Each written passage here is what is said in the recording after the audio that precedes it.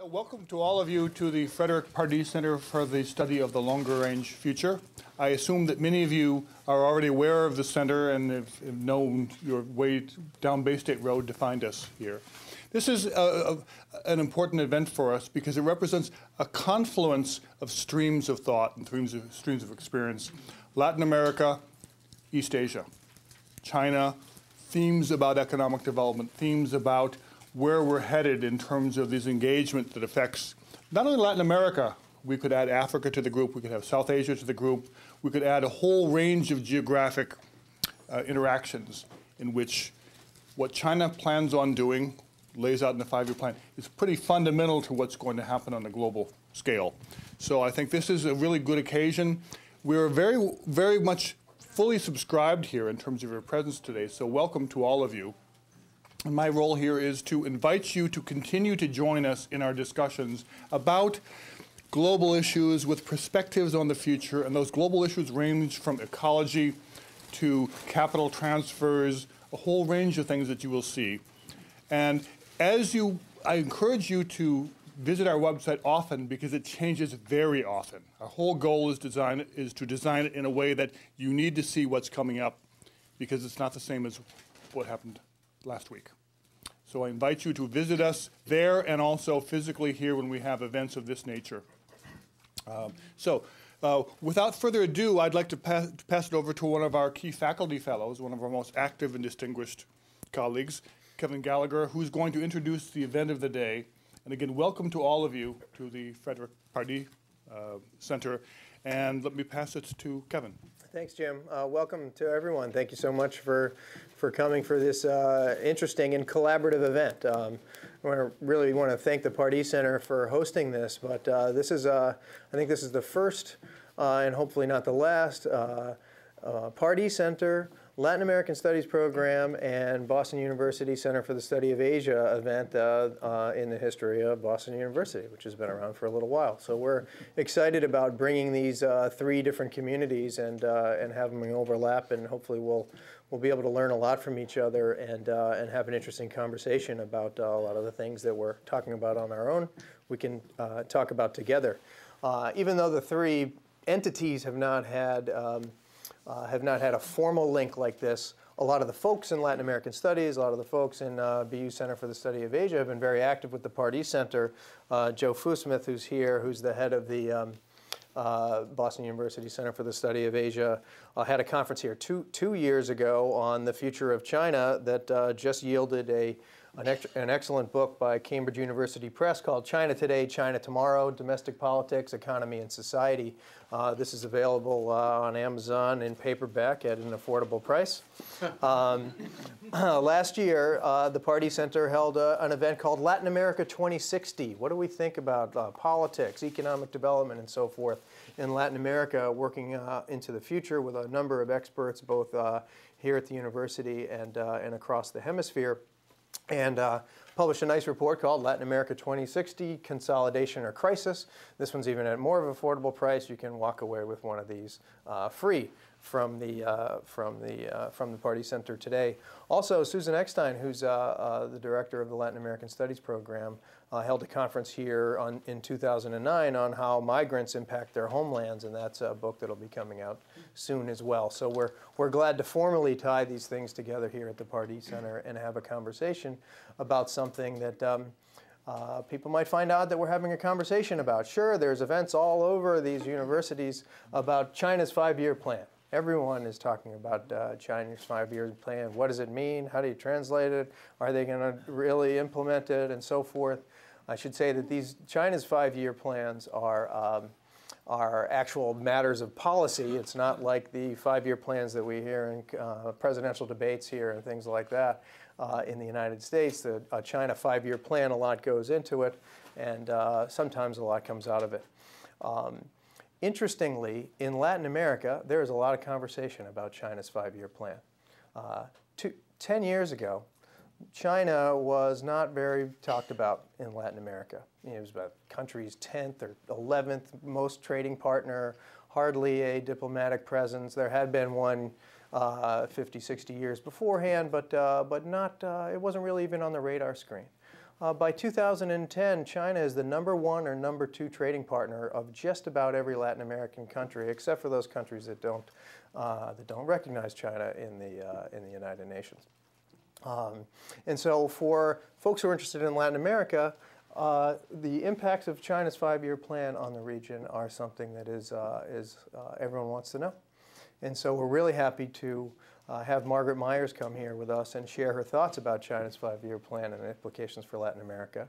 She's the director of the China and Latin America program at the Inter-American Dialogue in Washington. It's got to be the, uh, the, the, foremost think tank uh, in Washington on Latin American policy and U.S. Latin American relations. It has six or seven ex-presidents on its board of directors all the time and, and is really uh, the cutting edge on, on a lot of issues related to Latin America. She did her graduate, uh, she uh, did her uh, graduate work at George Washington University and the John Hopkins University, Nanjing uh, University Center for Chinese American Studies. She's uh, worked extensively in the, in the U.S. government and now she's heading this this working group at the Inter-American Dialogue. She'll, uh, she's, our, she's our main event tonight. She'll, uh, this afternoon, it's been a long day. Uh, kids woke up at 5. The, uh, for her too, she took the shuttle from Washington. Um, she'll give a presentation for 25 minutes or so, and then we have Boston University's own Edward Cunningham, who, uh, for those of you who haven't met him, we're really excited to have him here. Uh, he's a political scientist in the Department of Geography and Environment. He's got a PhD from the Massachusetts uh, Institute of Technology. Uh, he's working on a really innovative project at uh, Harvard on uh, energy technology and innovation. He's an expert on the Chinese energy system and China, Chinese uh, energy and environmental politics in general. We're really happy to have him here at the university and, and especially here with us. He'll provide some commentary after Margaret's presentation, and then we'll open it up and we can collectively have a conversation about this stuff. Margaret. Thank you so much, Kevin, and, and thank you to the Pardee Center for hosting me as well. It's a, it's a real privilege to be here. Um, just initially, the, the dialogue, the Inter-American Dialogue, as Kevin mentioned, I, have been working there for, for just under a year now, um, has been really fortunate to count Dr. Gallagher among, among the members of our China and Latin America Working Group, which we've had two sessions of now, and also to publish a new report by, by Kevin, by Amos Irwin, and Katherine Koleski, who are here in the, in the front row, on Chinese loans in Latin America, which has attracted considerable attention so far. So if you're at all interested in China and Latin America, I highly recommend that you, you take a look at that report. It's very cutting edge. You can find it on, on the Inter-American Dialogue website, but I'm sure also here at, here at BU. Um, I'm also delighted to have the opportunity to meet uh, Dr. Cunningham, who recently contributed some excellent analysis on, on Chinese energy, energy-related decision-making um, to the Dialogue's China and Latin America Working Paper series. So, so thank you again for that. So uh, the plan today is, is to talk a bit about China's 12th five-year plan, as, as Kevin mentioned, and what its many proposed social and economic reforms will mean for Latin America. And this is really no small feat. Um, it requires not only an in-depth analysis of the plan itself, um, but also uh, predictions, very difficult predictions regarding the extent to which the plan will be implemented, and then how, you know, the various ways in which it will impact Latin America. Uh, and I think, you know, I think it's safe to say that nobody, um, with the exception perhaps of the nine members of China's elite Politburo Standing Committee, have any idea what's going to happen in China over the next five years. And with a political transition coming up, I think there's, you know, probably tremendous, a, a tremendous degree of uncertainty even at the highest levels of the Communist Party. So all of that said, what I, what I hope to do today is to discuss three economic and social reforms that, that are not only major, excuse me, major areas of focus within the plan itself, um, but, but which have the potential to impact Latin America, I think, in, in some way. And I'll, and I'll, go through how, that, how, how I consider that. Um, of course, the extent to which they will do so really remains to be seen. Uh, so first of all, a, a quick background. Let's see if I can yep. A quick background on China's five-year plans for those who aren't familiar. Uh, they were first initiated in 1953, uh, inspired by Soviet-style planning, and have since laid the foundation for such economic and, and, social movements as the Great Leap Forward, the Cultural Revolution, and, and uh, the era of reform and opening up, uh, Gaige Kaifang. Uh, the plans are initiated by China's Development and Reform Commission, um, and later considered by the Central Committee of the Communist Party, which generates a plan proposal. Uh, China's State Council then designates a wide variety of experts to, to review the proposal and eventually submits it to the, the uh, National People's Congress for approval.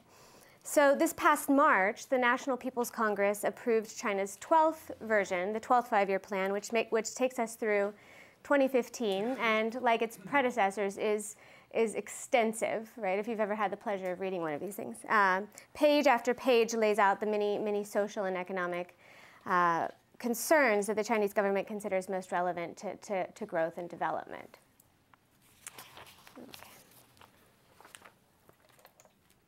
So, yeah, in Chinese it's called Shao um, of the many reforms proposed within the 12 five-year plan, I'll, I'll take my, uh, my 20 minutes here to discuss the three that I see not only as, as the major focus of, of the plan itself, but as I mentioned, have the potential to impact Latin America in, in, in some way, or China's future engagement with Latin America at least. Um, and these are, first of all, economic transformation from, from an investment and export-driven growth to consumption-driven growth.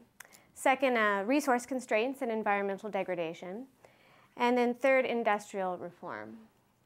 And each of these topics is extremely broad and, and is addressed through, through a, a real slew of, of proposed policy solutions within the plan itself. Okay. So first is, is economic transformation. And um, by most all accounts, this is really the, the central feature of, of the 12th five-year plan.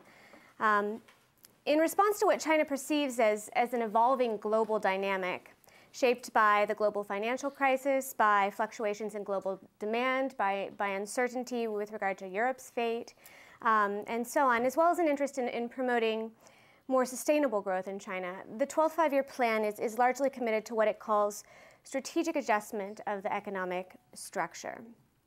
Uh, it seeks new advantages in global competition and, most importantly, a fundamental shift in Chinese growth, um, eh, or in the growth dynamic, from one characterized by an over-reliance on, on export and investment to one driven by higher rates of, of uh, private consumption as a share of GDP.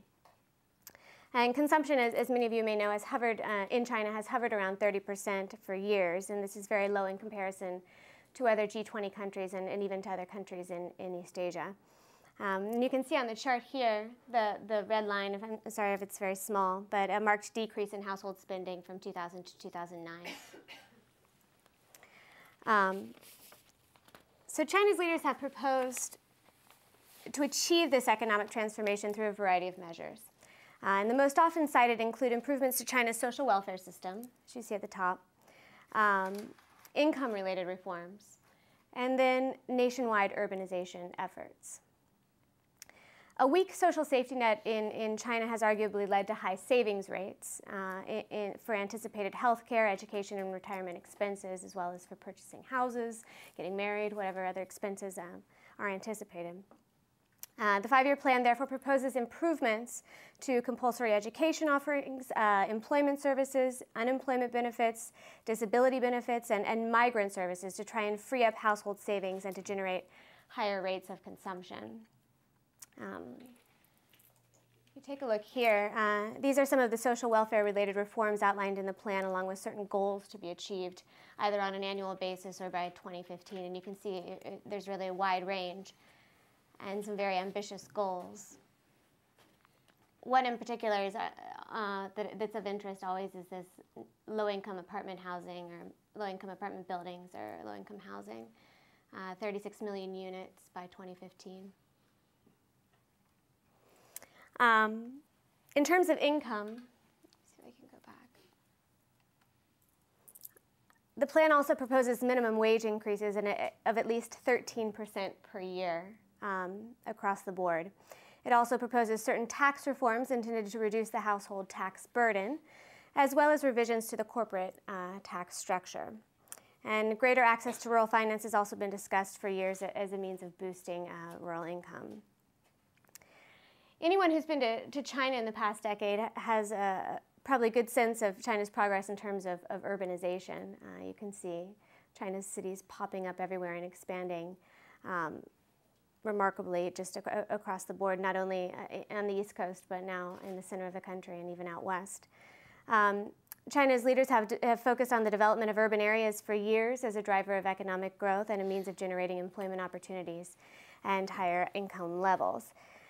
The 12 five year plan includes um, a proposal to increase China's urbanization by another 4%, so that by 2015, 51.5% of the population will reside in urban areas.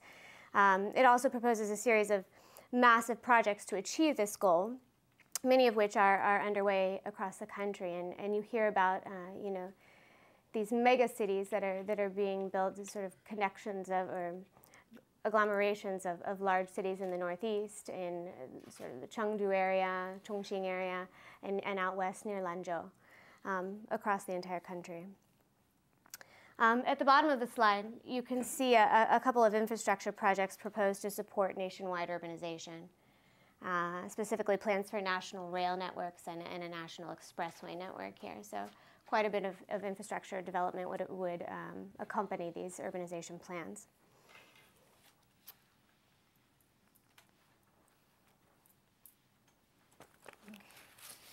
Second um, major focus of the plan, as I mentioned earlier, are efforts to, uh, to address China's resource constraints and environmental degradation. Uh, in 2011, China's Environment Minister Zhou Shengxian uh, stated that China's pollution issues and, and, resource depletion threatened to choke the country's economic growth. And we've seen quite a bit of press coverage in Beijing uh, recently just uh, about sort of air quality, quite a bit more uh, just information about what air quality is doing to people's health and so on. So it's becoming an increasingly important issue. Um, and as a result of, of, growing environmental and resource challenges in China, we, we've seen a real marked increase in, in green initiatives in, in the 12th five year plan. Uh, they include efforts to protect arable land, uh, to restore environmental health to rivers and lakes, reduce emissions, develop waste treatment facilities, imp- implement uh, conservation measures, and, and combat climate change. And you know, there are pages upon pages describing the ways in which uh, China intends to do these things, or at least outlining the goals.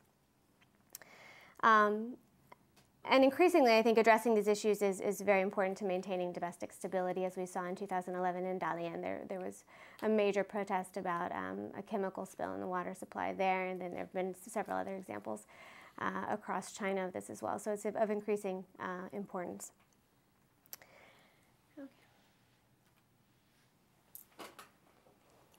The third major feature um, of the plan that, that I think will, in some way, have an influence on Latin America, excuse me, on Latin America is industrial reform, um, which essentially envisions China shifting away from low value added, uh, export oriented um, manufacturing.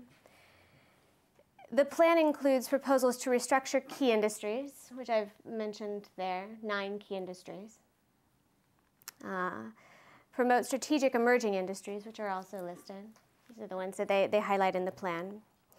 And to develop China's service sector. Uh, China's leaders intend to boost the service sector's share of GDP by four percentage points over the next five years.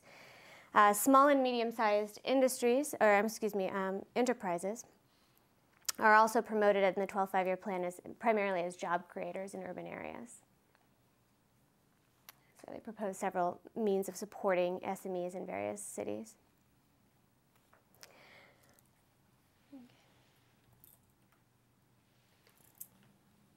I hope that's big enough. So, uh, when determining how these three very broad and, and complex issues will, will impact Latin America, one must first consider the likelihood uh, they will be implemented at all and, and what this will mean for China. And, and Kevin's already discussed this um, very briefly. Uh, it, it's very difficult to determine which of the extensive challenges addressed in the 12th five year plan will be implemented by the Chinese government. Uh, most are extraordinarily complex, and many would require a degree of consensus among China's various political interests that hasn't yet been clearly attained.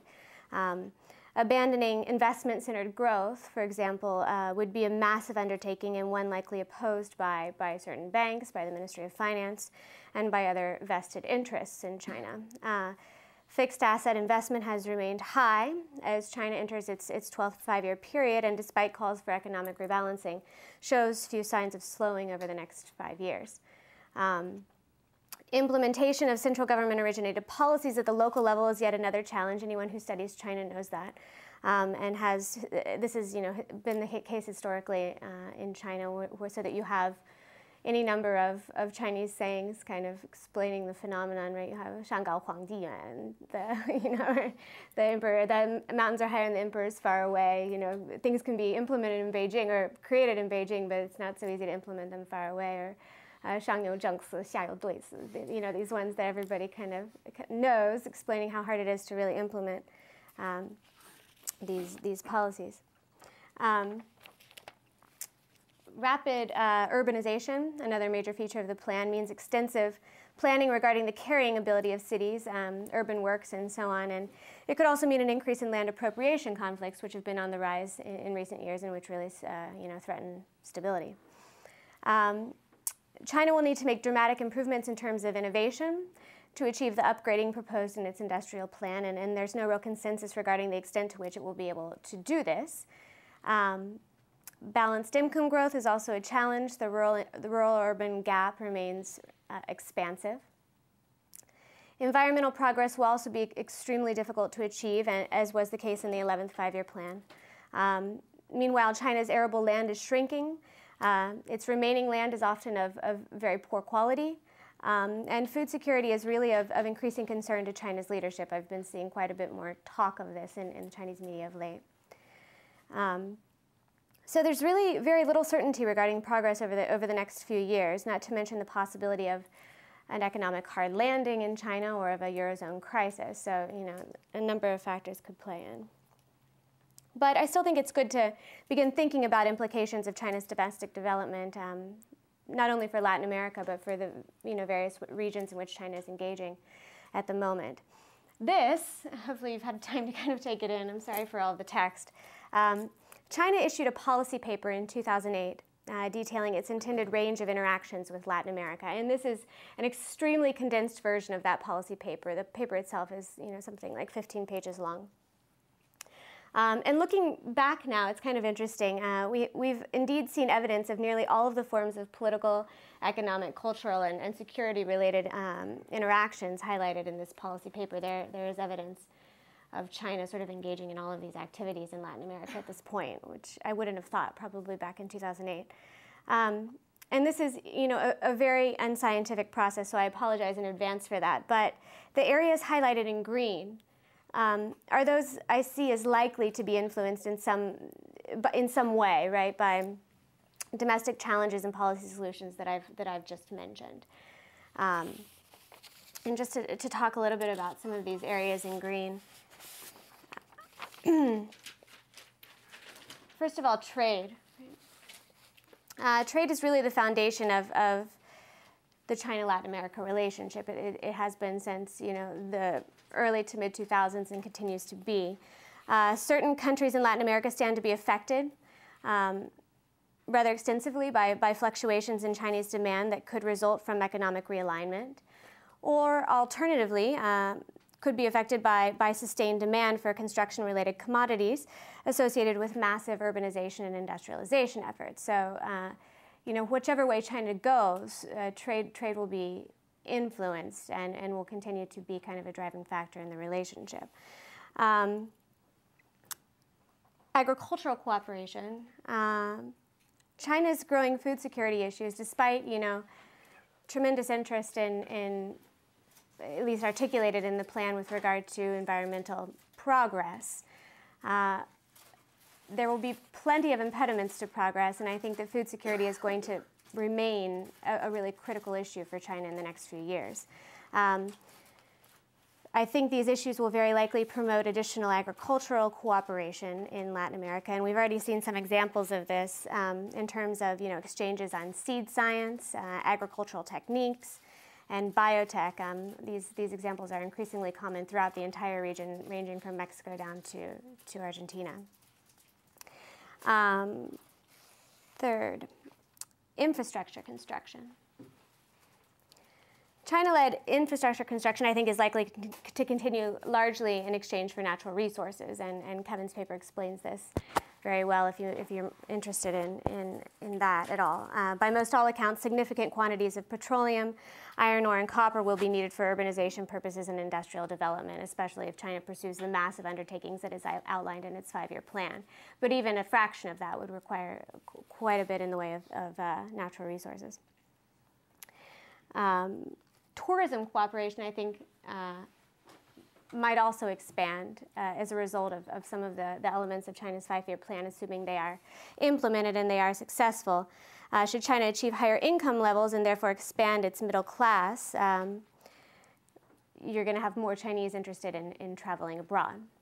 And uh, expansion of the service sector would involve also expansion of the tourism sector, uh, according to the five year plan. So that's another area where cooperation might expand a little bit. Um, Cooperation, in terms of cooperation in science, technology, and education, we've already been seeing some evidence of this between China and Brazil regarding renewable energy. Uh, and China faces energy and, and as China faces its energy and resource related challenges, this sort of cooperation I think is really likely to expand. Brazil and China have been doing some really interesting work on um, bamboo technology and other sort of, of course, uh, you know, sugarcane related energy. But uh, bamboo has, has been kind of the, the leading force of some of their cooperation lately. Uh, in terms of cooperation in environmental protection and in combating climate change, the plan itself um, mentions these, these factors, um, as well as work on renminbi internationalization and enhanced aid efforts in, in developing countries in sectors where China hasn't you know, originally been very active, things like education, health, social issues. China tends to focus more on infrastructure development uh, and on accessing energy resources and other commodities. Um,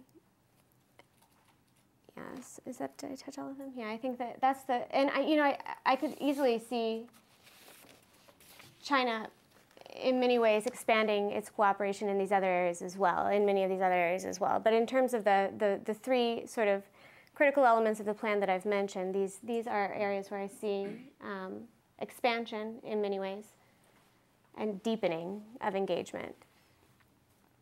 And uh, yeah, I think I'll conclude on that. I think I've done my 25 minutes. Uh, I wasn't looking. But, uh, short and sharp. Ed, Edward Cunningham, some comments. So thanks, thanks to Margaret for that, uh, for those comments, and also uh, for her great work putting together different groups of people, uh, particularly uh, the Latin American watchers and the China watchers, most recently uh, in the work that you're doing in DC on these issues. So I think what I'll do maybe is uh, just react, sort of provide some comments, maybe also to put some of the some context um, around the issues of, of how or what the bridges are um, that at least I see moving forward uh, between China and and the world, uh, in this case, uh, a region, uh, Latin America. Um, what I find quite interesting, and I agree with Margaret, is that we, we don't really know, of course, uh, the extent to which this, in some ways, quite bottom up constructed five year plan, as most of them are, um, how it will be employed. Uh, in the sense that it, it's always a, a bit of a, of a, debate internally and also a debate among vested interests, the extent to which, of course, we're going to see um, a meshing between local interests around China and central interests, but even the the interests of different entities within the central government. Um, so I think she's right to be cautious in terms of uh, projecting forward what we think the, the impact will be. But I think what we can be specific about is um, at least three three trends that um, that we that there's quite a lot has been written about them, and I think that are going to be fairly durable uh, moving forward. That very much stem from uh, the issues that Margaret just raised. One is resource constraints, as she as she highlighted. So what I find quite interesting is the incredible consensus for a country that, like many places, does not often have consensus, particularly at the leadership level regarding the um, the imminent challenges of resource constraint. So resource constraint is a discussion and debate that's been occurring in China for decades. The past decade, it's heightened. Uh, it's been heightened, particularly given the incredible growth after uh, China's accession to the WTO and the industrialization that occurred in China, and the knock-on effect on um, the use of domestic resources. So about a decade ago, the, the narrative was, was for energy was very similar to the narrative for grain, for other uh, strategic resources within China, where self-sufficiency was continually uh, focused upon as, uh, and there was a whole series of policies that were in place, particularly in terms of the backbone of China's energy structure, coal, in which it, there were incentives to export, um, and there were many obstacles to import. One of the things that's fascinating to me um, over time is as the resource constraint challenges have become much more clear with this incredible ramp up of, of uh, particularly of coal, right, where, where coal is 80, 82% of power produced, over 70% of primary energy consumed, where you see specific metrics over and over again, both within government documents and in the media being referenced. Refer- uh, metrics such as um, when you move from a billion tons, the size of the U.S. coal market, to three billion tons in under two two decades, right? When when one country does that much and moves that much investment, in a, particularly in terms of extracting its resources, very critical metrics change very rapidly. So you have, for example, within China, the reserves to production ratio that used to be well over 70 years, right, in terms of how much is in the ground given technology and current pricing to what's being produced, going from over 70 years to now just under 30 years, right? So having in about a decade. Right? So that is a real metric. That's a metric that politicians, uh, whether they're elected or not, that are stewards of that, those assets owned by the state get very concerned over because the implication, of course, is that in another 10 years, given these rates, that number would be zero, right? even given slight technology increases and price increases. That, is, that had incredible political currency, those types of shifts. That has led to a whole series of policies that have, in, in, in, a, in a fairly organized way, systematic way, have fundamentally redefined the way that those resources um, are marshaled, and in fact, the way that those resources um, interact uh, with the outside world. To the extent now that China has really thrown the entire trading world off um, because it went from being the largest exporter of coal, as an example, to being the largest importer last month. Right? So enormous ahistorical trend shift there in, in the period of two years.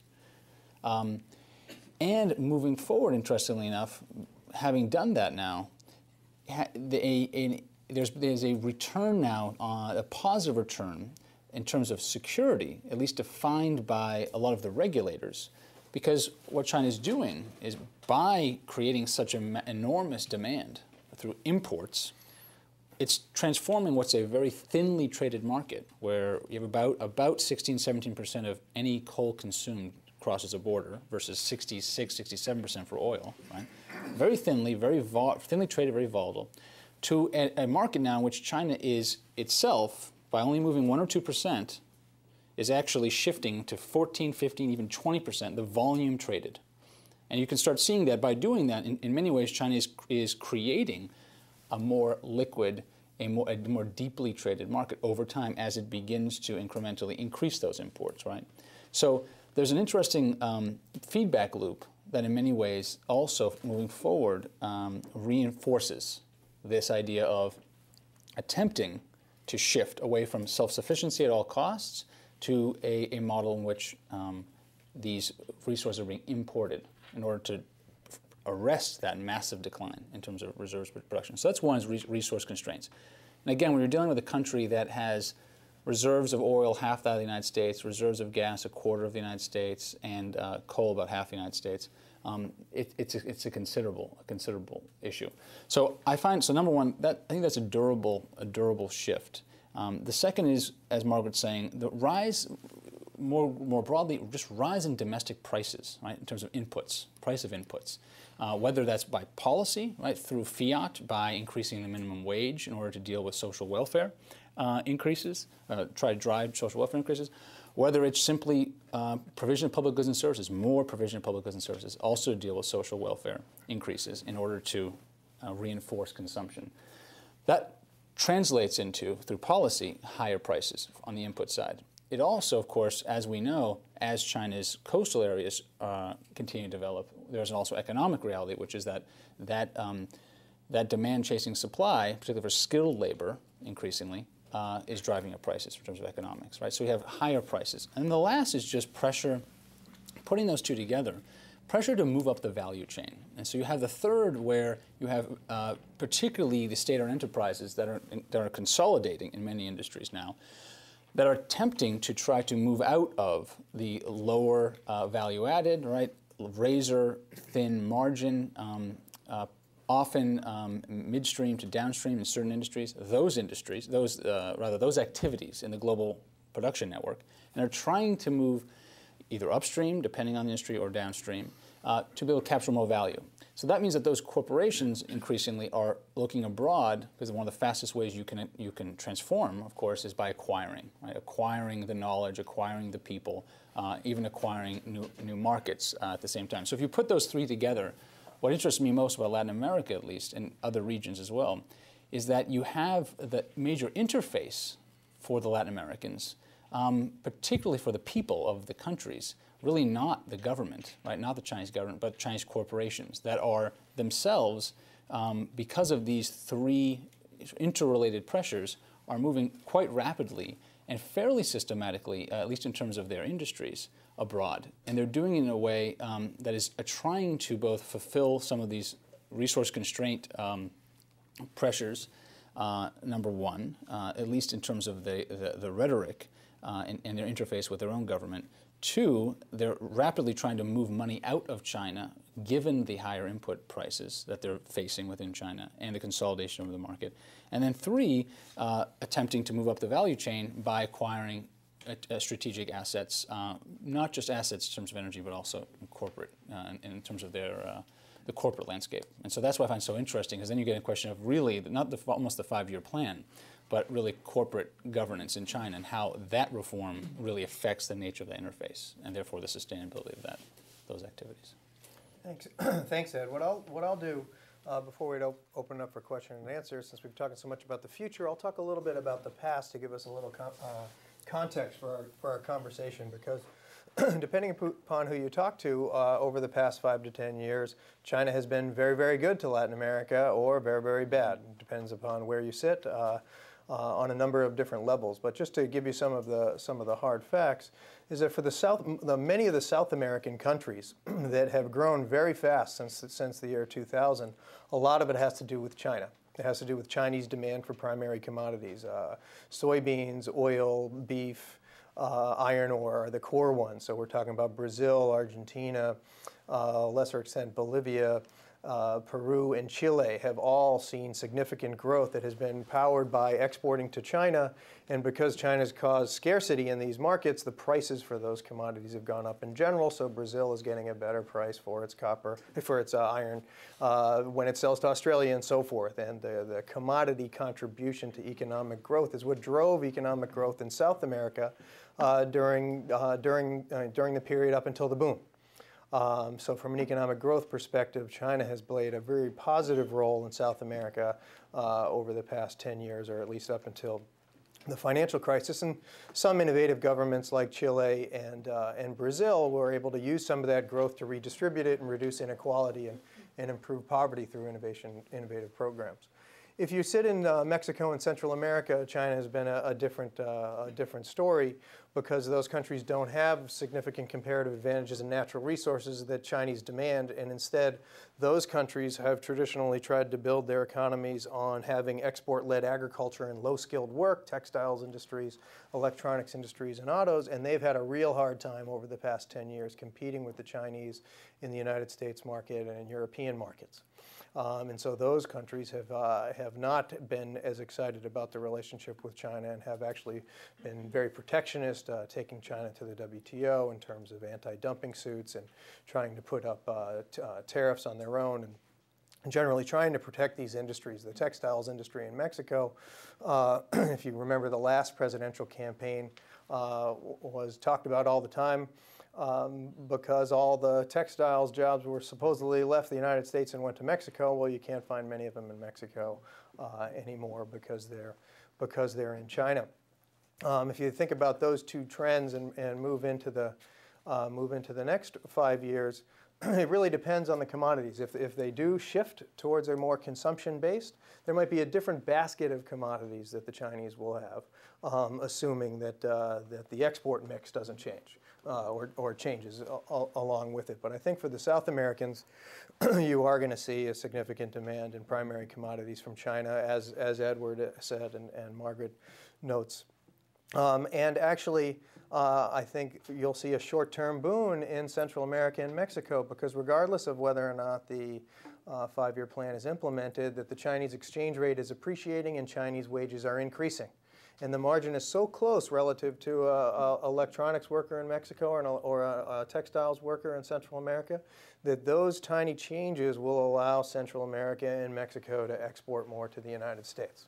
So in the short term, I see over the five years these things uh, being relatively um, uh, continuing the positive that we've received in South America and um, maybe reversing some of the negative trends that we've seen in Mexico and Central America. However, I would argue over the medium and long term, both of those trends are really bad for the region. That uh, we all know that uh, commodity-led growth is something that Latin America spent 200 years trying to move away from. And if you think of this triangle, excuse me, this triangle of incentives where you have Chinese economic demand for primary commodities, okay, um, and all sorts of investment in primary commodities for us from Latin American co commodities moving to China. At the same time, you have Chinese outcompeting your, your, manufacturing in global markets and in domestic markets that can cause a tug, to, a tug towards deindustrialization. And we know that the more diversified an economy is, the better it grows. And so if this, uh, and we are, we're seeing signs of this in, in Brazil already, if we see deindustrialization, it can have real significant impacts on, on long-run growth.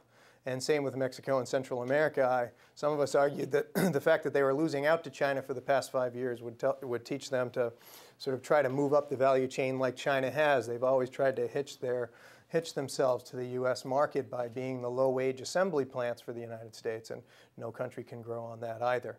And so I think uh, over the next five years, based on the past five years' experience, uh, we'll continue to see good growth prospects in terms of exports to commodities uh, to China for the South Americans, and actually better, uh, better opportunity for Central America and Mexico selling to the United States. However, the medium and longer term things are uh, the incentives are going in the wrong way for long run development, which is what we think about here at the Pardee Center. So with all this uh, context and, and, presentation, let's, uh, let's have a conversation. We have all sorts of interesting people from Latin American Studies, from the BU Center for the Study of Asia, and the Pardee regulars. So uh, let's party. Uh, well, I'll take a handful. no pun intended. I'll take a few questions. Uh, withdraw that last statement. I'll uh, I'll take a handful of questions, and then um, and we can Margaret and, and Edward can answer them. So Susan and Min and Please use the microphone for the video. Yes, and since we have all these different communities that are uh, getting together today, please introduce yourself. Uh, tell us who you are. Susan Eckstein, um, International Relations, uh, Director of the Latin American Studies Program, and thank you, Kevin, for organizing this. Um, I really want to pick up on where you left off, Kevin, but throwing it out to other speakers. And um, I, you know, as a Latin Americanist, we've long studied, uh, rightly or wrongly, about the negative effects of uh, external dependency, such as the impact of the United States on Latin American countries. So I really wonder if there uh, is more uh, more ways to expand on what might be some of the negative effects of Chinese China's uh, increasing dominance in Latin America maybe none, but uh, you know, I just think it's you know, you hinted at a few issues, but I'm wondering social consequences, et cetera, that might come out of it. In the front. Uh, well, thank you for the three of you for your nice talk. And uh, my name is Min Ye. I'm assistant professor in international relations. I teach on China uh, China, India, and now I'm hoping to do work on China's investments in the in developing countries. Um, so I have uh, in my own research, I generated two questions for each of the speaker. Uh, Margaret, um, so in my interviews of Chinese companies who want to invest in Latin America, well, that interview was done in uh, two years ago in Shanghai, uh, but they, they, they all reported that the, the local governments and the public public re reception of their products or their uh, in, uh, factories were not very uh, good. Um, uh, the, the in terms of consumers, mainly they were they they prefer Western products over the Chinese products in terms of public. When they uh, uh, attempted to set up factories, then the local governments often put together uh, several barriers, and sometimes they canceled their plans uh, uh, unilaterally.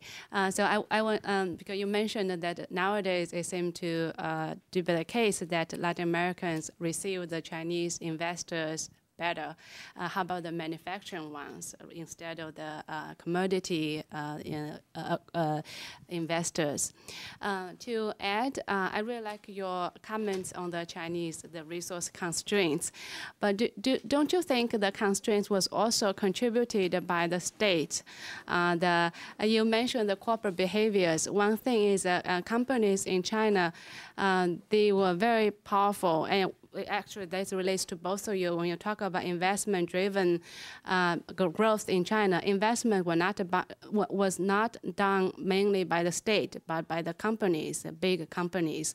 Um, the I, I, uh, how how they were their vested interests were were to have high commodity in, uh, price in China and while buying more and more overseas. I'll just give you a couple examples I encountered in my own research.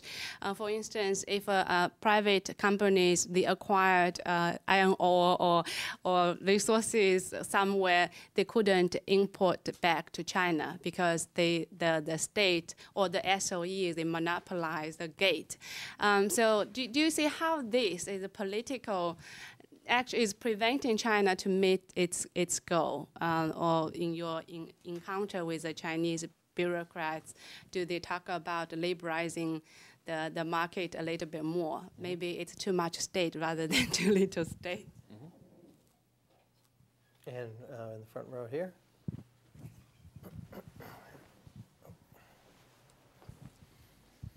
Thanks. I'm Amos Irwin. I'm a second year student at the Fletcher School uh, up in Medford.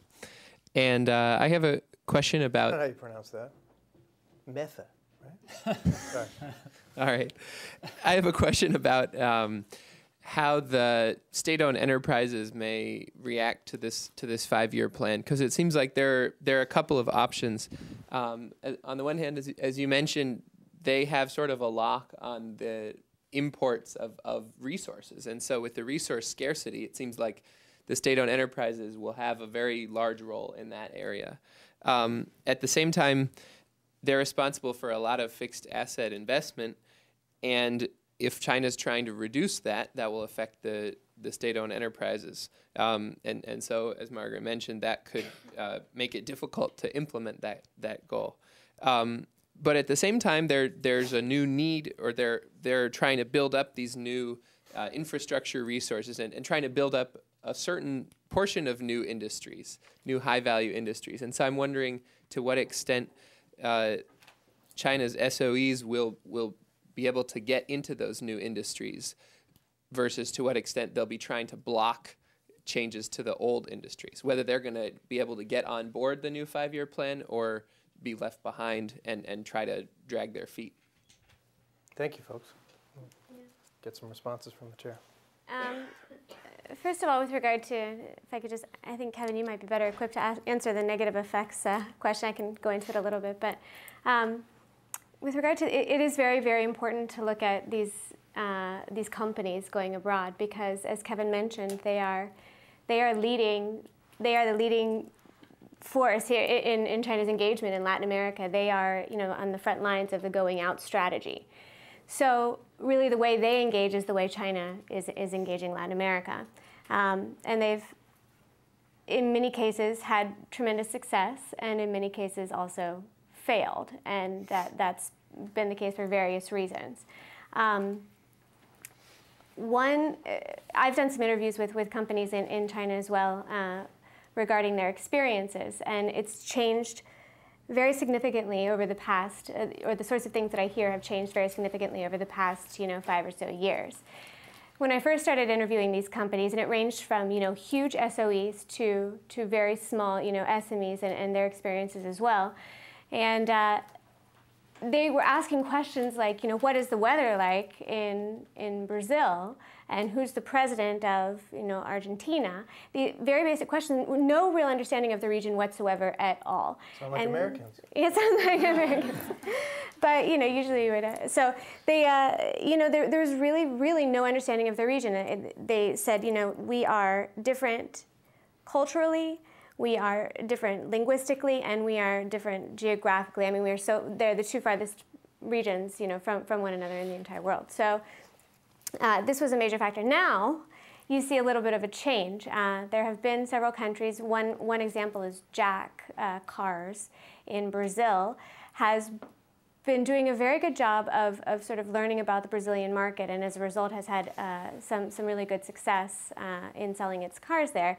What it did was to advertise on. Um, it hired a, a a Brazilian PR firm, which is first of all a really good idea and something that Chinese firms have been resistant to, um, and then did all of its advertising on the, the most famous uh, Brazilian sort of talk show, um, I guess, in, I think it was in Rio.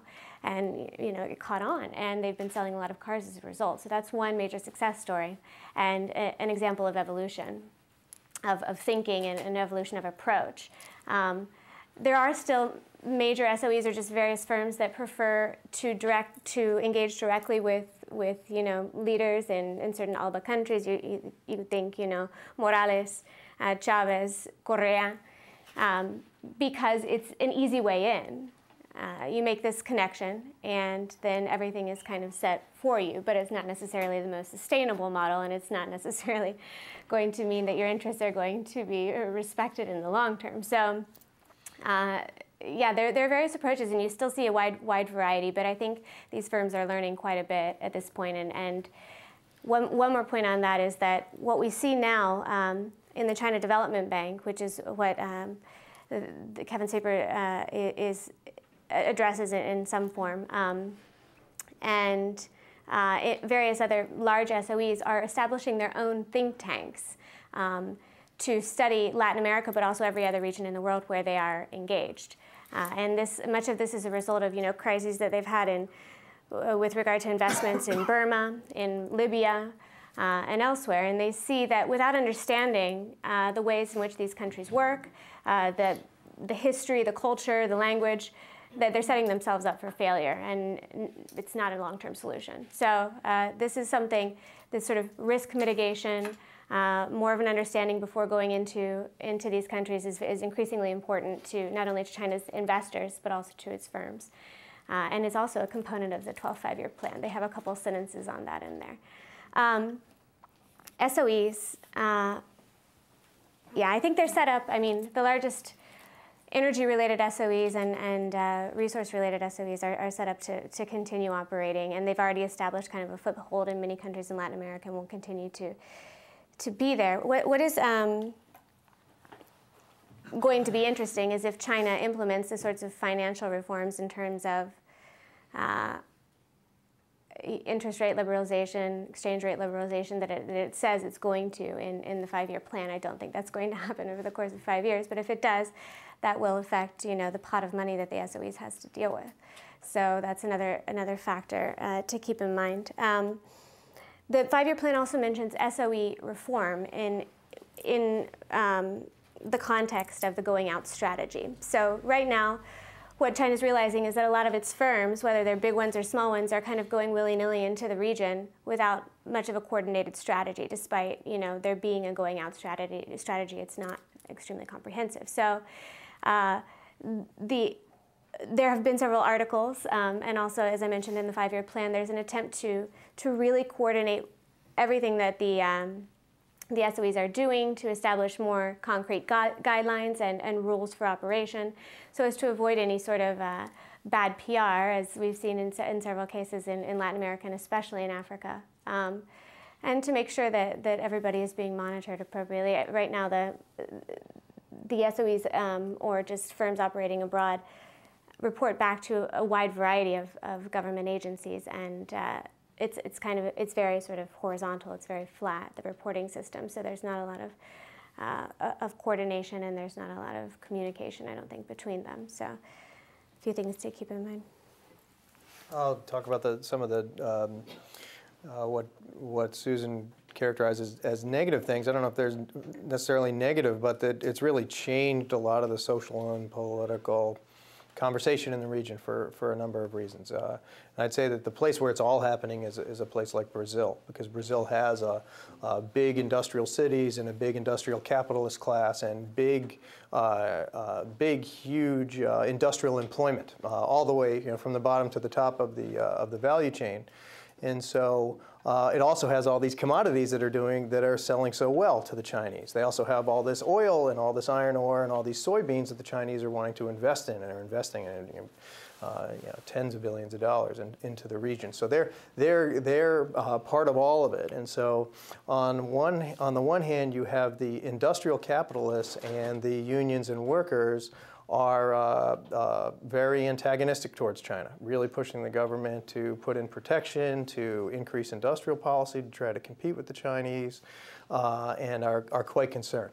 Uh, but then you have the commodity sector where they really like things uh, where they are, although that has changed a little bit now that the, Brazil is letting foreign investment in when uh, Vale, uh, Brazil's biggest uh, uh, iron exporter, was exporting all this stuff to China, they were it was great. But now that they might have to compete with Chinese iron ore companies on their own soil, there that's changed the political economy there. Uh, where all the action is in the commodities, and that's out in the uh, rural areas of, of Brazil where no workers are and there's no real job benefits. in addition, most of the work that comes is in the form of Chinese employment. And so there are lots of indigenous uh, concerns where um, in the countryside you'll get a big new Chinese plant, which the country's all excited about. It doesn't really bring any unemployment. A lot of the linkages are very thin to begin with in a sector like that. Um, and then you have indigenous folks who have been there for 20,000 years without any land title that all of a sudden are shocked that there's this big, huge uh, edifice in the in the middle of their of their area. And so they're in places like Peru. There's been real significant uh, clashes over environment, over land rights, uh, and uh, over the whole social political structure. So it's really changing the you know a conversation. That's why this this five year plan is something that people are talking about there uh, all the time. And that speaks a little bit to the, you know, how you define success is I think many of the Chinese firms in China, they, you know, these are the, China's national champions. And so there, the, the whole point was to try to get them strong. And so they wouldn't have many barriers when they were locating at home. And then they move to another country and they think, hey, we can just set up a big, huge thing and drill a hole in the ground and tell the people that have been moving for 20,000, living somewhere for 20,000 years to move over here.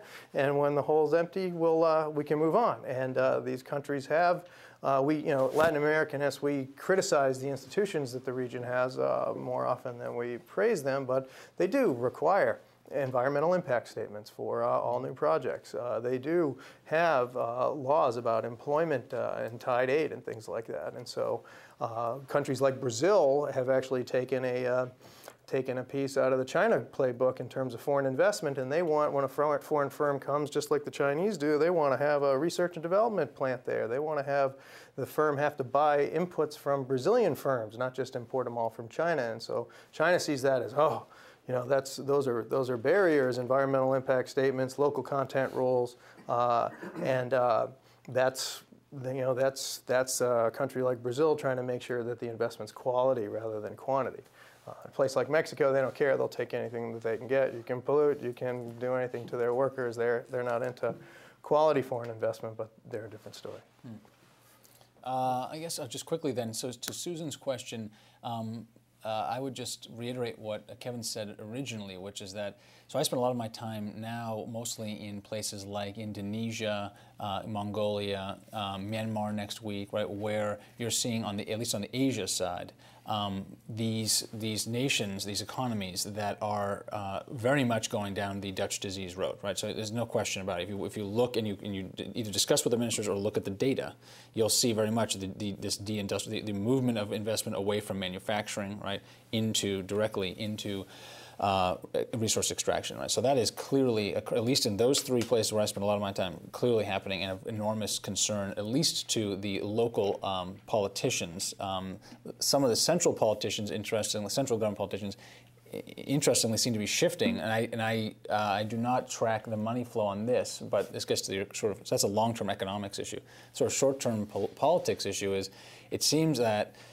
And a lot of the SOEs will admit to the fact that they also are funneling a lot of funds now and getting into the game of, of, domestic politics abroad, like the U.S. has done, you know, for well over a century. So, so they are perhaps some of the shift in terms of central governments pulling away and being less concerned is related to that. I'm not sure, but I would suspect that that's a short-term political issue: is the extent to which Chinese funding is shifting the views of politicians in the short term. So that's sort of a quick thought on that. But I, am really, I, I, think Kevin's exactly right. It's real, the resource, the Dutch disease issue. Um, and then just in terms of Min's question, so I guess the way I view it is um, too much state. So yes, in, in, in, some ways, yes. Um, but what I'm seeing is resource constraint, right? What's happening is a bottom-up economic and a political uh, top-down, two forces, right? Bottom-up economic is these corporations, they're not necessarily, I'm not saying they're somehow in fulfilling these import needs, right, themselves uh, directly purposively. What I'm just saying is that what's happening is they are dealing in an environment where all these input prices are rising rapidly, and historically, it was actually difficult for them to import because there were import license constraints and there were all these price incentives for you to export. So what's happened, and this happened in oil, right? It happened in oil in the mid 90s. Now it's happening in coal. Is as the input prices rise, these companies create a lot of uh, pressure right? Where they want to, all of a sudden there's a huge arbitrage opportunities. Where now, instead of them, uh, for them to, even for uh, power plant producers, right, to be able to burn coal, they'd rather, they'd much rather have both security of supply of Australia and Indonesia, and also the quality assurance, and also lower pricing now from outside China. That was very difficult before. What's now, what's occurred, top down, are two things. One is a major shift to dismantle those barriers and to be able to encourage those flows. Um, number one, why? Largely because of the shift in terms of focus on reserves to uh, production ratio, for example, on, on, the coal side, but even in terms of oil, seeing that there, there are significant ceilings in terms of the ability to increase efficiency with which oil is extracted, right? So, what's, so what you're seeing is number one, they're shifting all of these policies. Number two, in terms of import license restrictions, pricing, um, biases to export. But the other one is they're following very much the oil road in other areas. So you have coal strategic reserves that are two massive reserves that have already been set up uh, in Shandong province, right? So you're seeing that beginning where this, this what they call protective resource policy is starting to take shape. Um, so that's at least to me what what is so interesting is it's not necessarily that one would expect. Um, uh, uh, ton for ton or pound for pound that what's happening outside China is all coming back to China. But what's clearly happening is increasingly that's the case, right? So now we're going from, again, back to coal, zero imports to almost 300 million tons of imports this year, right? I mean, that, that's enormous shift. Now that's almost, that's about, what is that, 9% of China's total consumption. So, we, it, so your bigger question, liberalizing, yes. Absolutely. So, liberal, so what does that mean? Liberalizing policies, that's happening. China becoming more engaged with the global economy, it's happening. China becoming more exposed to uh, imports, it's happening. And I, what I'm saying is that it's also reinforcing a, a uh, increasing comfort, I think, with that, because in some ways, the more you're engaged, particularly in a volatile, thinly traded market, the more you're making it more predictable, and the more you're making it traded and, and liquid. You see what I'm saying? And so that volatility is taken out. Uh, so the larger player they become, the more market shaper they can become. And then the last point I think is SOEs. Uh, yes, so I think it depends on the sector. So if you look at sectors in which that are growing rapidly, um, so if it's looking at, for example, renewables, uh, the, the major SOEs are directly involved with the policies that have been uh, established um, in order to dominate in terms of their market share. So just one example is look at wind, right? In the end, when you look at the actual regulations um, through the Ministry of Industry Information Technology that set up the barriers to entry, and the NDRC that also set the barriers to entry in terms of wind farms, you'll see very clearly, and if you look and, and track where those standards came from, they came directly from uh, so the State-Owned Asset Supervision Commission's uh, work group uh, on wind, that was directly uh, that you look at the people who were on that committee, and they were all from the the big five power producers um, and uh, two of the subsidiaries, and it's quite clear.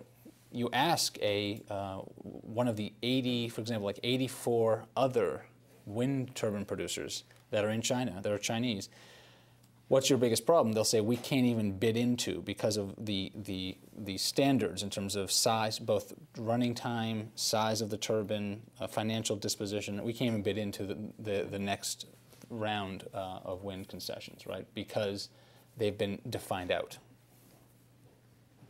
Could I, could I respond to Susan's question as well? Just add one point. Um, just to give you a, a sense of comparison um, in terms of, of the danger of, of, of Chinese investment or, or, trade with Latin America and, uh, primarization and all these sorts of deindustrialization concerns and everything else.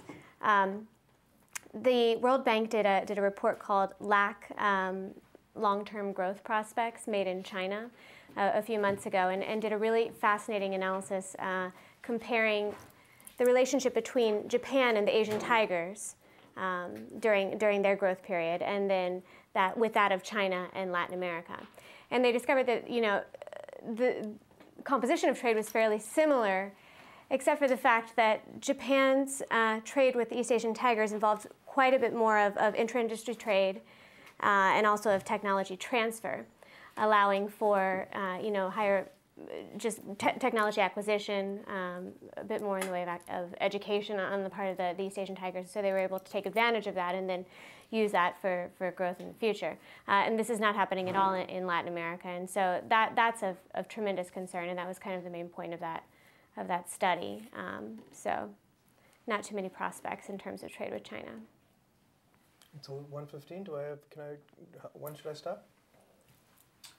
1.30. 1.30. Okay, so we can take another round. Joe, I Joe in the front. Joe Fewsmith, uh, Center for the Study of Asia. Uh, I just wanted to ask uh, Margaret, because she started with the rebalancing of the Chinese economy, the uh, desired for consumption-driven growth. And then the whole conversation, as I've heard it, has all been about resource constraints, SOEs, major trade uh, with Latin America. And are these two subjects unrelated? Does the uh, consumption economy not have to grow, this rebalancing? If it does or doesn't happen, does this have anything at all mm -hmm. to do either with the Chinese economy as a whole or its impact on Latin America? Mm -hmm. Are these just disconnected from each other? Back here. Okay. Thank you for your presentation. So uh, it made me uh, recall my experience working for the, I mean, the 12th uh, five-year plan of China in my country, uh, because I work at the provincial level. Uh, so, in fact, we are quite concerned with the situation, I mean, the current situation that China is in, because we think China is uh, definitely a country in transition, both economically and socially. And uh, in fact, when we are facing uh, the 12th five year of our country, we think there are more uncertainty than before because as I think at least three questions have to be answered. First, is this country uh, possible to transfer from a uh, export-oriented country to uh, uh, I mean internal demand-driven country or not? second, whether the growth the growth of the economic, uh, the rate of the growth economic can translate it into the uh, growth of the income, uh, uh maybe expressed by the uh, per capita uh, income or not. And thirdly, we wonder whether this country can, I mean, just as mentioned by one of the presenters, that is, can we um, escalate our industrial systems? I mean, a lot of uh, big uh, or state-owned companies are now in this uh, stage. That means to try to uh, get, get into the higher stage of their uh, manufacturing, to be moved into a higher stage of their value chain. So without, with all these uncertainties, in fact, it's very difficult to make a, a five-year plan with all the certainties. But finally, we can see all the outcomes here.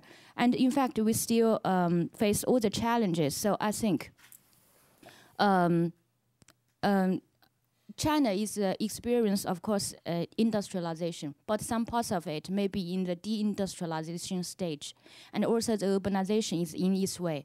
So my question is that whether do you think China do face some obstacles or most difficult part in its, uh, I mean, uh, realizing this five-year plan from your perspective? Because I think the perspective from yours and the perspective from us is quite different. So that's my first question. And my second question is that, as you know, after 30 years of economic reform, so China now has seen a lot of uh, liberalization and also uh, privatization. So now, besides the um, state-owned enterprises, in fact, the small business are gaining its uh, power.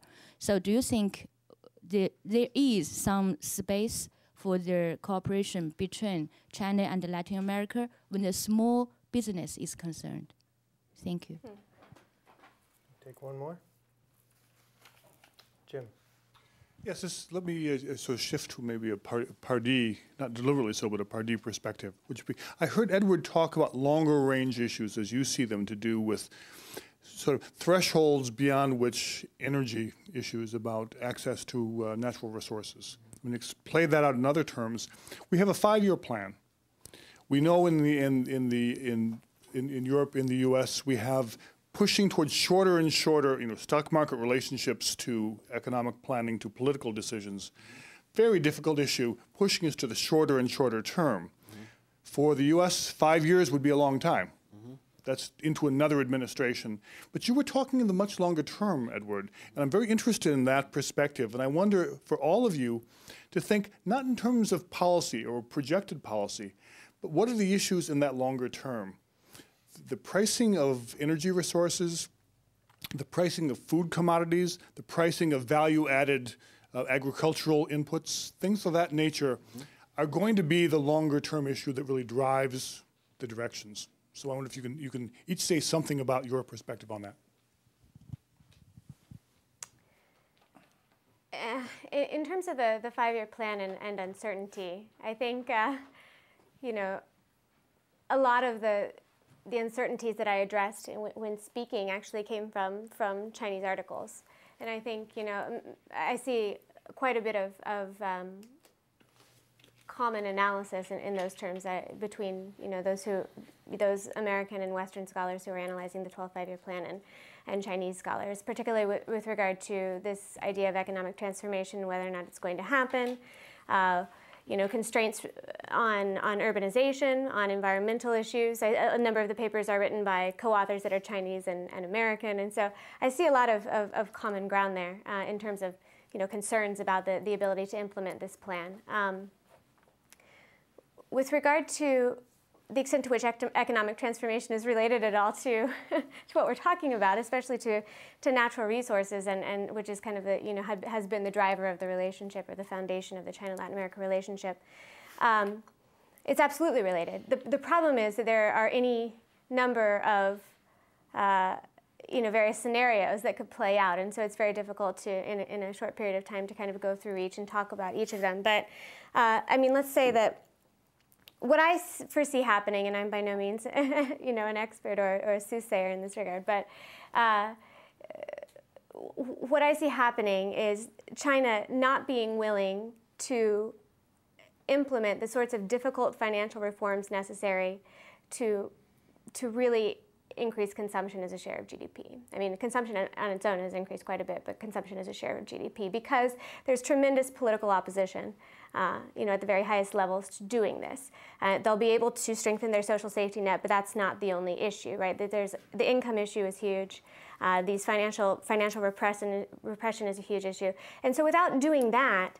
The only way they're going to be able to really continue generating growth is through fixed asset investment. They're going to continue doing that, right? But what they do have in their pocket, and it's, it's very clearly articulated in the five year plan, are these industrialization and urbanization efforts, which are also linked to, or in the plan at least, they, they very clearly describe them as being promoting of, of higher rates of, of consumption because they provide more in the way of, of employment opportunity and increase incomes by transferring people from, from farms to urban areas, by uh, you know providing higher salaries in, in, in cities and so on. So what I see is you know that being the low-hanging fruit that is uh, that, that China reaches uh, for uh, during these five years. And that being said, uh, we're going to see a lot more in the way of, of you know infrastructure development, a lot more in the way of rail, road.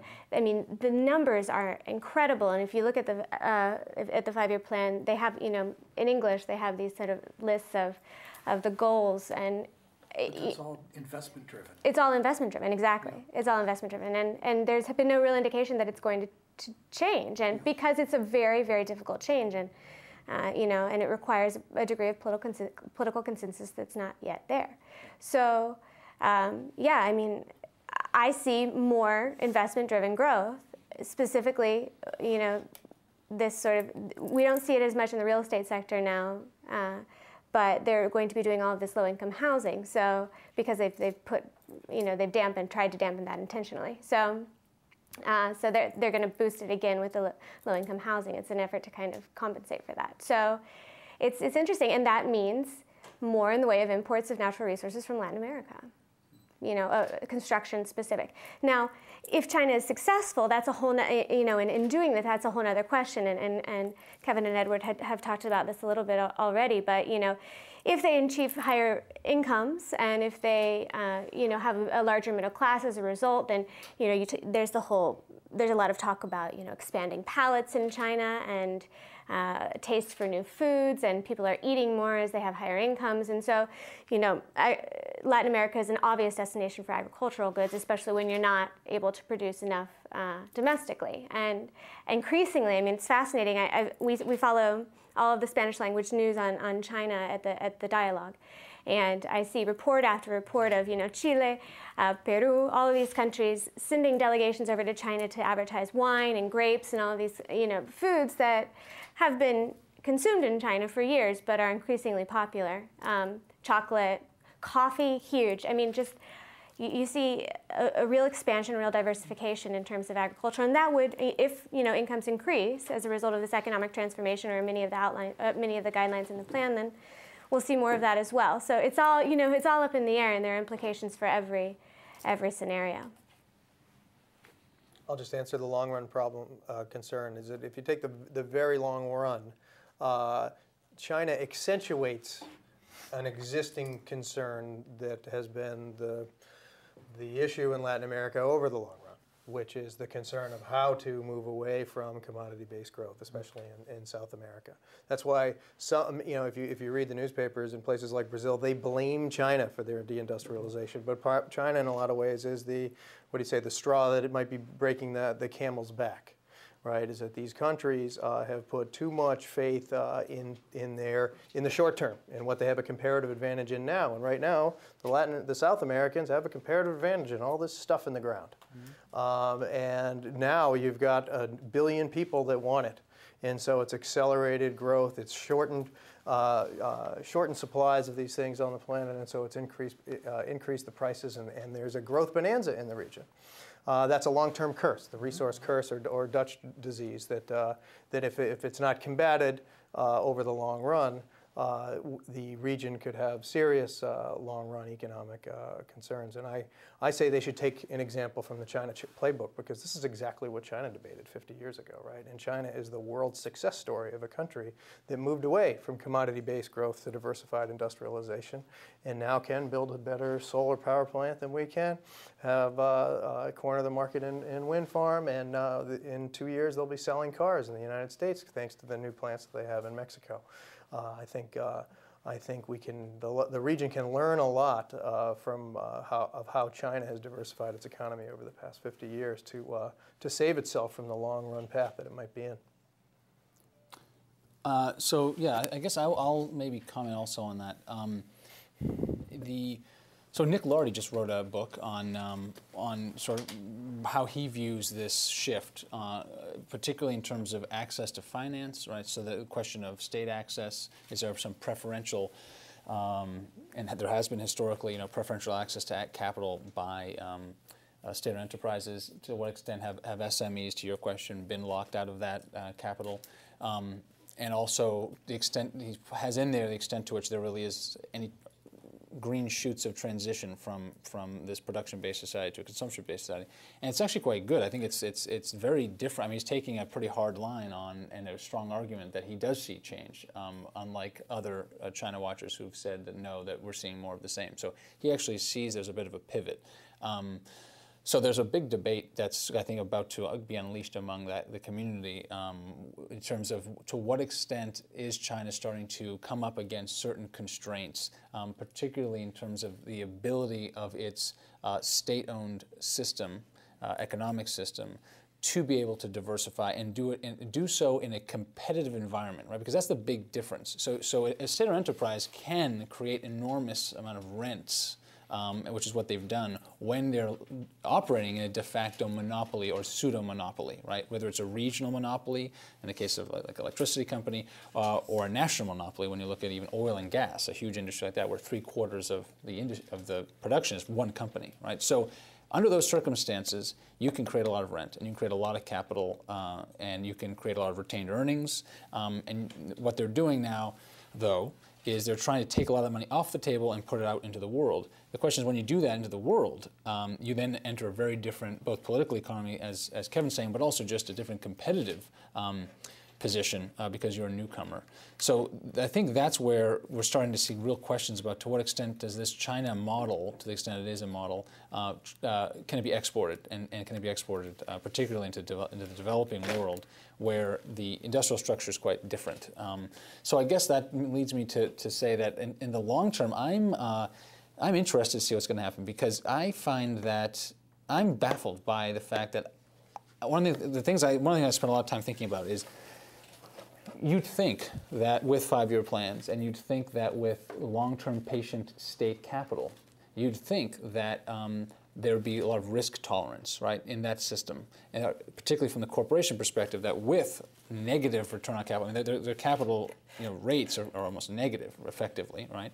So very cheap capital, plus supposedly the sage philosopher kings, right, in terms of uh, their regulators and owners above them, where there's a lot of distance as well that you would have uh, outlays of capital in risky areas because you don't have what you're saying the quarterly return, short termism, impatient capital of the West.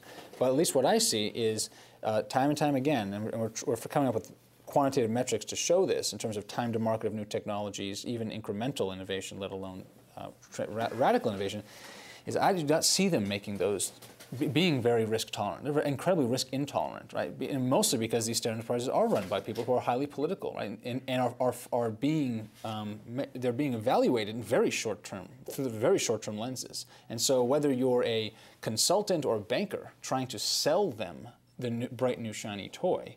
Um, or you're the company trying to create the joint venture saying here is the you, you, you want to get involved because you want to move up the value chain be involved in the last sort of almost the deployment phase not even r&d early on They're, it's very difficult to get them to do so. And so i think that's what fascinates the hell out of me is, is why is it so why is it so impatient when the capital is so different the politics are so different? Okay. why don't we kevin why don't we close it there? Yeah can you just mention next week? Because i forgot to why don't you do it? Before we say goodbye, we just want to invite you all back here. Uh, uh, next, uh, next Thursday at 3 p.m., we're going to have another event like this to release a uh, task force report called Regulating Global Capital Flows for Long Run Development. Uh, it'll be a panel with myself, unfortunately, again, for you. Um, but also Jose Antonio Ocampo, the former finance minister of Colombia, and a woman named Ilene Grabel from the University of Denver. And uh, we're going to talk about uh, uh, speculative capital and the uh, capital flows in the wake of the financial crisis and the extent to which we need some sort of uh, global governance of these things for long-run development. Three o'clock here, you'll need to RSVP because, as you know, these things get packed. Sorry. Well, thank you. Thank you to the audience. Thank you to our panel. Thank you. Thanks.